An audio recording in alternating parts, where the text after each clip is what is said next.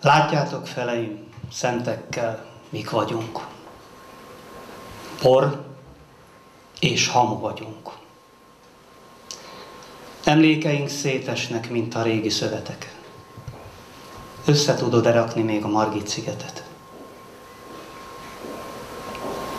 Ha szívemben nézek, és jól megvizsgálom mindazt, amit az emberekkel való együttlétek alkalmával tapasztaltam, azt kell mondanom, hogy minden emberi együttlét reménytelen. Mindenféle gyöngéd emberi érzés átalakul a gyakorlatban önzésé. Bölcsebb, ha egyedül maradsz. Még akkor is, ha ez néha nagyon fájdalmas és nehéz. Ülök a padon, nézem az eget. A Central Park, nem a Margit sziget. Milyen szép az élet. Kapok, amit kérek. Milyen furcsa íze van itt a kenyérnek.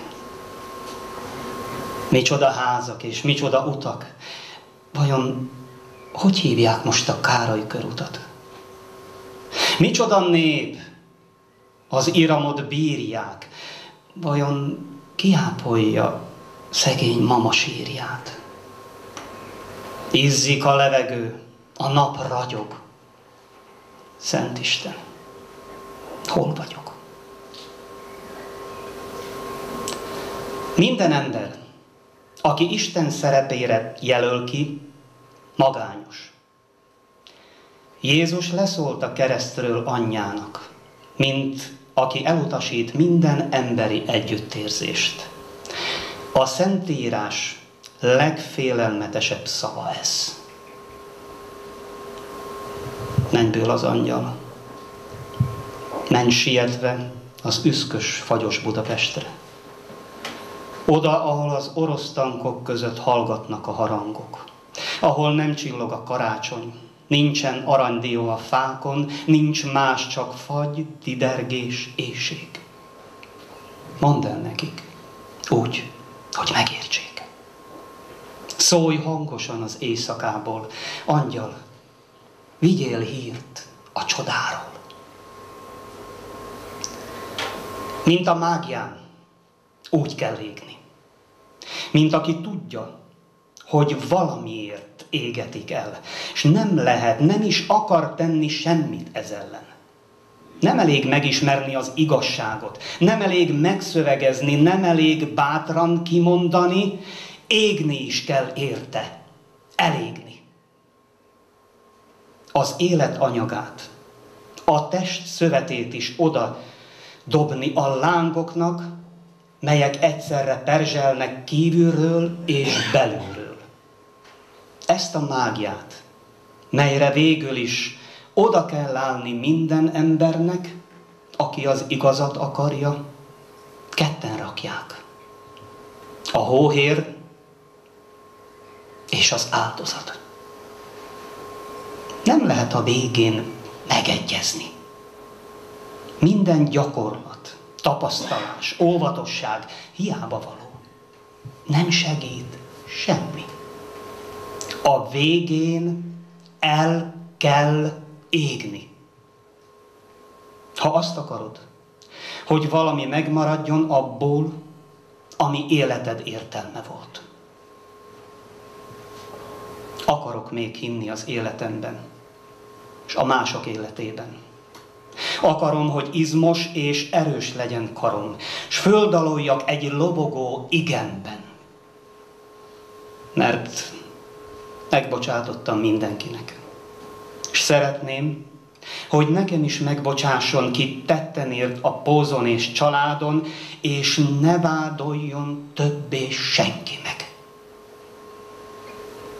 A múltat én elhordozom magammal új életemre, mint zsákját a vándor. Hogy éltem egyszeré Márai Sándor, és emlékeimmel elmotozva élnék, mert amit érdemeltem, rám talált. Kaptam egy életet, és egy halált.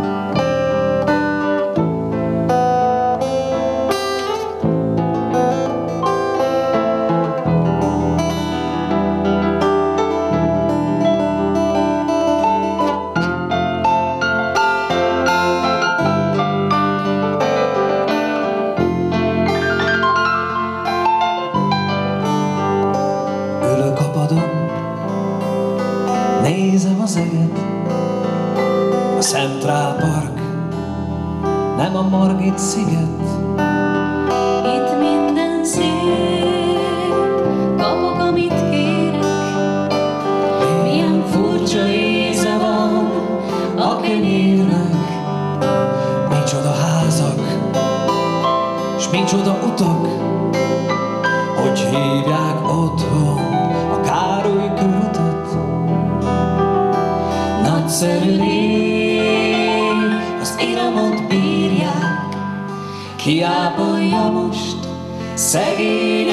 she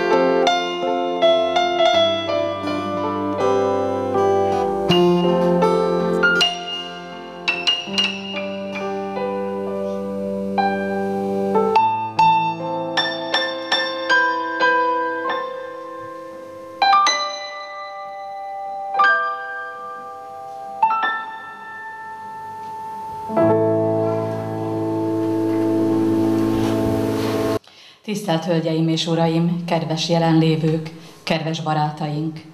A Városi Művelődési Központ és a Városi Múzeum nevében tisztelettel és szeretettel köszöntöm kedves minnyájukat, a Márai Sándor munkásságát és életművét bemutató kiállítás ünnepélyes megnyitóján. Külön tisztelettel köszöntöm körünkben Mészáros Alajos professzort, Európa, Európai Parlamenti képviselő urat, akinek köszönhetően ez a tartalmas kiállítás a brüsszeli Európa Parlamentben elsőként volt látható, további helyszínek után pedig városunkban is megtekinthető lesz.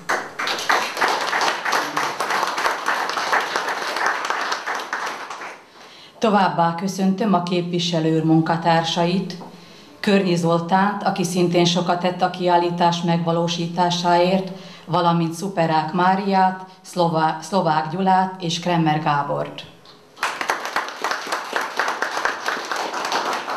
Köszöntöm továbbá városunk polgármesterét, magiszter Oravec Jánost, valamint városunk alpolgármesterét, Paért Kornélia Szlabákovát.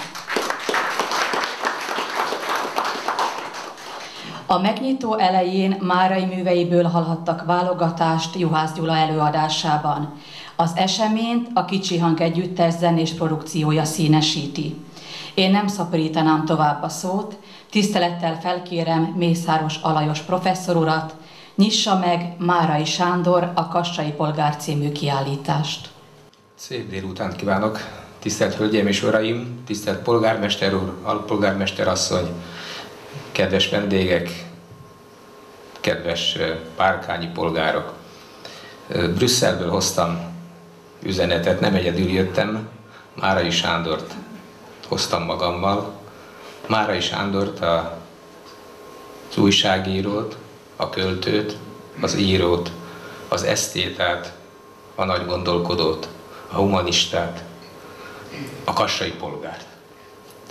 Úgy gondolom, hogy ez az év különösen megérdemli, hogy Márai Sándort emlegessük, és többször is, mert mint tudjuk, valószínűleg tudjuk, hogy Kassa 2013-ban 13-ra elnyerte az Európai Unió kulturális fővárosa címet. Ez egy megosztott cím közösen Marseille-el, ugye dél-francia várossal. És éppen Márai Sándor az, akinek a neve leginkább fémjelzi Kassát, de nem csak a mai kassát, hanem azt a kassát, amit minnyáján, akik jártunk kassán, vagy olvastunk kassáról, valahol itt hordunk a szívünkben, a gondolatunkban egy letűnt világot, ami azonban tovább kell, hogy éljen bennünk, mert ez a letűnt világ éppen az a polgári világ volt, és kell, hogy legyen a továbbiakban, amelyeknek az értékeit szeretnénk, amelynek az értékrendjét mindig is szeretjük volna továbbvinni, továbbadni családunkban, ez volt Márai Sándor, aki épp ezeket az értékeket fölkarolta és tovább próbálta vinni, de egy olyan nehéz környezetben és közegben, amelybe szinte bele roppant. Ezt látni a művein, ami nagyon jó én számomra nagyon magas színvonal előadásokban hallottunk, hallottunk néhány gondolatot az igazgató úrtól, Juhász Gyula barátomtól. Nagyon szép, én magam is mondok verseket, és próbálkoztam mindig vele, és azt kell mondani, hogy éppen azt a súlyát, azt a súlyos gondolkodásmódot adta vissza, és nagyon jól folytatta ezt a kicsi hangakit, engedjék meg, hogy itt én is személyesen szeretettel üdvözöljem őket, mint barátaimat is, és mint azokat az embereket, akik ugyanígy végigkísérték az első kiállításunkat Brüsszelben, amely tavaly december 4-én volt.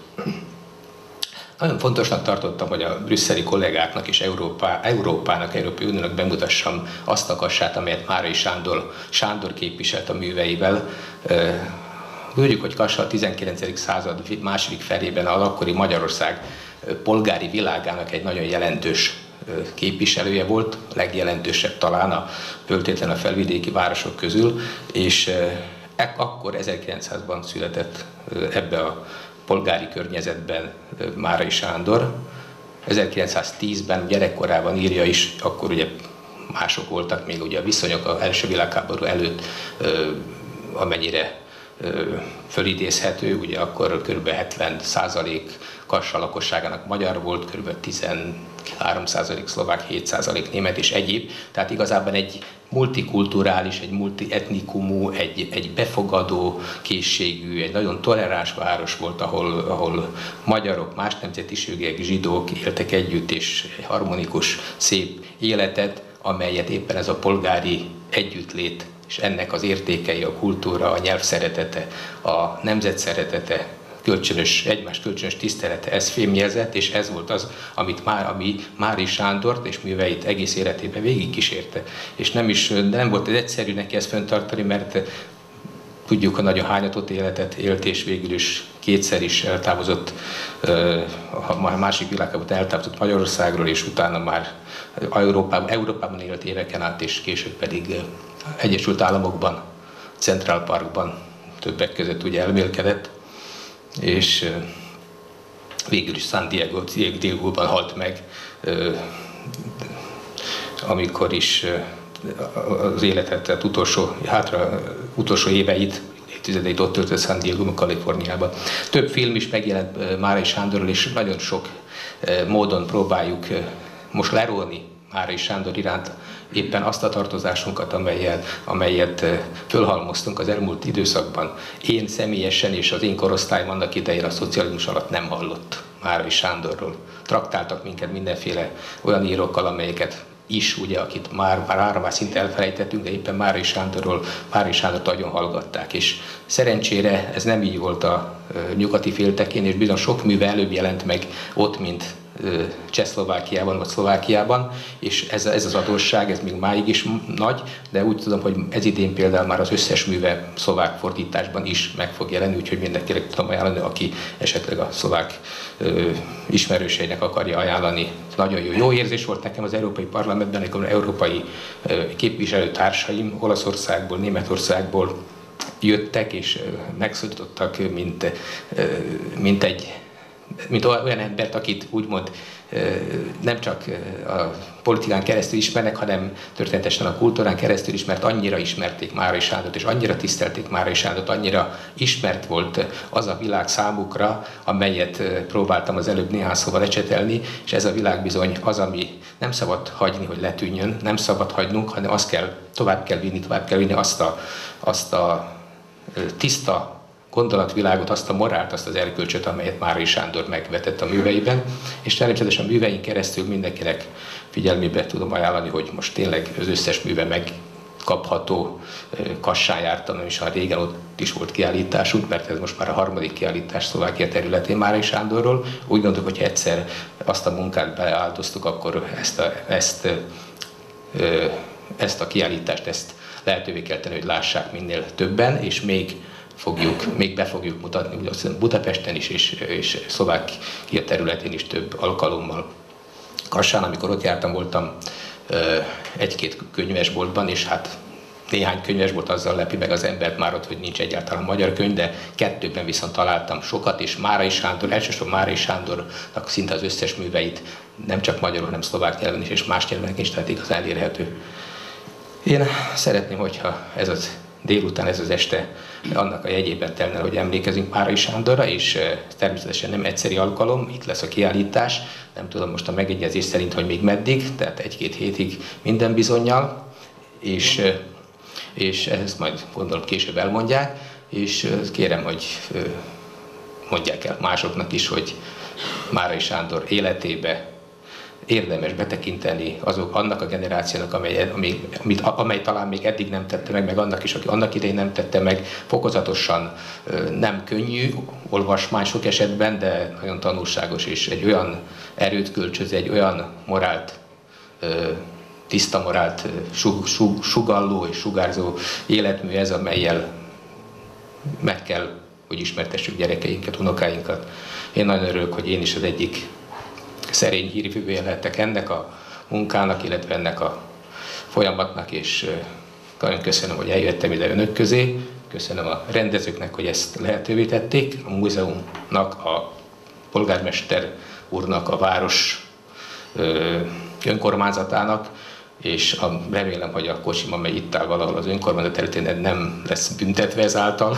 Már úgy értem, hogy azt is köszönöm, hogy ide bejöhettem, és lehetővé tették a munkatársaimnak, hogy itt ezt a kiállítást mm, ide elhozzuk, és itt önöknek is bemutassuk. Köszönöm szépen, kívánok mindenkinek szép estét, szép délután szép estét, és töltődjünk fel minnyáján márai életművel és azzal az üzenettel, amelyet magával hordoz. Köszönöm szépen, hogy meghallgattak. Köszönöm Mészáros Alajos professzor úrnak a megnyitó beszédet, valamint a szereplőknek, hogy gazdagították a mai eseményt. Ajánlom a kiállítást szíves figyelmükbe, és bízom benne, hogy a Kassán született magyar íróról, költőről, műfordítóról szóló tárlat diákjaink figyelmét is felkelti. A tárlat június másodikáig tekinthető meg. Köszönöm, hogy eljöttek, bízom benne, hogy egy értékes élménnyel gazdagodtak. Végezetül meginvitálom Önöket egy kis frissítő elfogyasztására.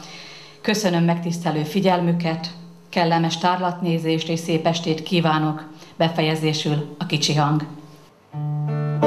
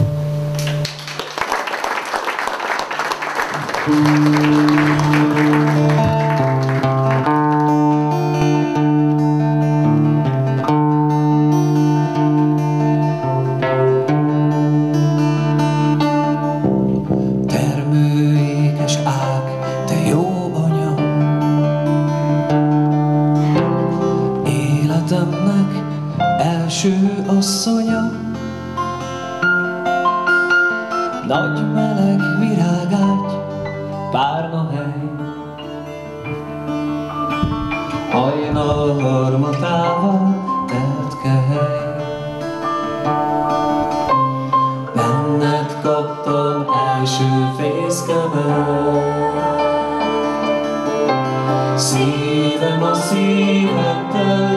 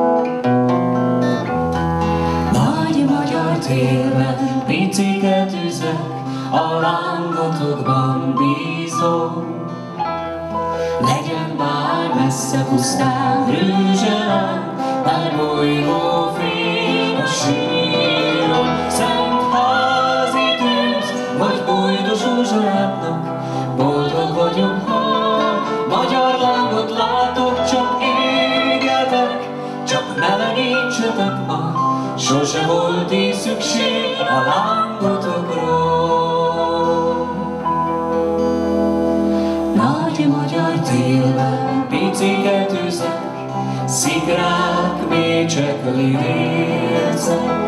Mutassatok már csontvázt halmokat, vagy rejtett arra ércet. Szent házi tűz, vagy bújdos ózsorátnak, boldog vagyok, ha magyar lángot látok, csak égetek, csak melegítsetek már, sose volt észre.